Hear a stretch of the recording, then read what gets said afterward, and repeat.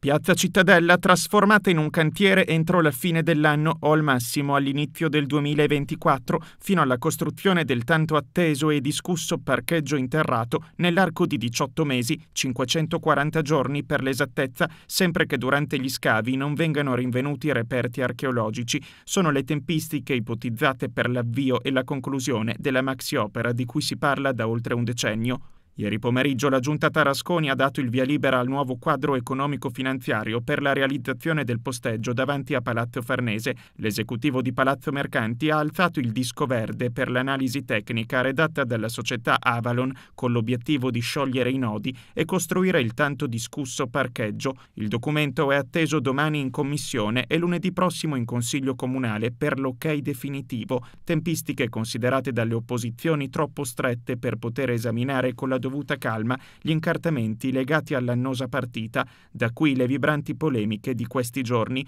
Come anticipato da Libertà e Telelibertà nei giorni scorsi, la nuova revisione del piano economico-finanziario tra il Comune e la società Piacenza Parcheggi, oggi diventata Global Parking Solution GPS, prevede costi di realizzazione più alti per il futuro parcheggio interrato, una spesa aggiuntiva di quasi 4,7 milioni di euro e nel frattempo, a partire dal 1 gennaio 2020, 2024 un incremento della tariffa nelle strisce blu pari a 28 centesimi all'ora in più. Va ricordato infatti che l'accordo risalente al 2012 comprende la concessione al privato delle opere di progettazione, costruzione e gestione del posteggio pubblico da 250 posti, ma anche l'attuale servizio di conduzione delle aree di sosta a pagamento e rimozione forzata dei veicoli in tutta la città, due questioni amministrative che si intersecano come vasi comunicanti.